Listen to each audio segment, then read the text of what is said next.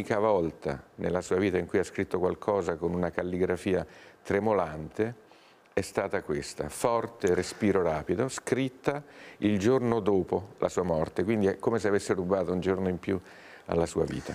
Eh, già capiamo però l'intensità di questo racconto. Abbiamo cominciato dalla fine, ma adesso torniamo indietro. D'altro canto, il sottotitolo del libro è La mia vita con Dino Risi. No, per noi è un monumento, Dino Risi, ma per te è tuo papà.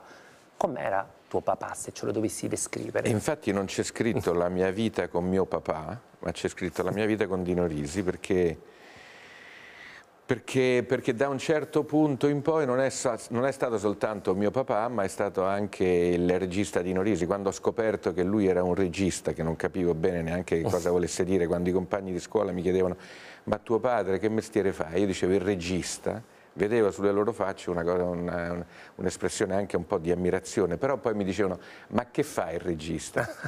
e io non è che sapessi dare una risposta precisa, ma io gli dicevo poi insegna agli attori quello che devono fare, come si devono muovere. E loro lo capivano, dire. spiegato in questo modo. No, neanche, perché pensavano che gli attori fossero Beh, però i film li conoscevano, no? I film di tuo papà, insomma. Beh, all'epoca quando ero piccolino ancora non era diventato uh -huh. così famoso. Dopo il sorpasso diciamo che è un po' cambiato. Sì, comunque è un film che ha segnato un po' un'epoca, no? Anche sì. per, il finale, insomma, no? Ma ieri vedevo una cosa, per esempio, in televisione perché parlava di Jim Morrison, uh -huh. Jim Morrison dei Doors, aveva un insegnante di cinema a Los Angeles che era pazzo del sorpasso, quindi portato... e anche Scorsese aveva un insegnante di cinema che era fissato col sorpasso, addirittura era riuscito a dimostrare che il percorso che faceva la macchina formava un punto interrogativo.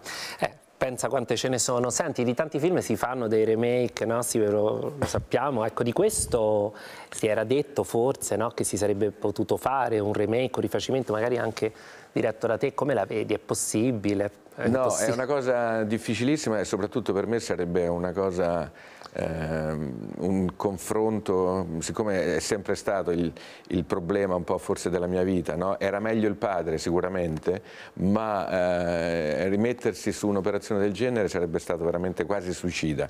Però, però a un certo punto con l'insistenza di Cecchi Gori, del caro Vittorio, che su quel film stava puntando veramente tantissimo, sul remake di quel film e che aveva capito che sarebbe dovuto essere completamente diverso da quello là, ho cominciato a pensarci e avevo avuto anche una bella idea che non vi dirò per il finale. No, ce la devi dire invece, no, scusa, no, no, facciamo lo scoop. No, non posso Come dirlo. a chi avevi pensato? Come attori ho pensato a Favino e Marinelli. Eh, insomma una bella coppia. Che mi sembra una bella coppia.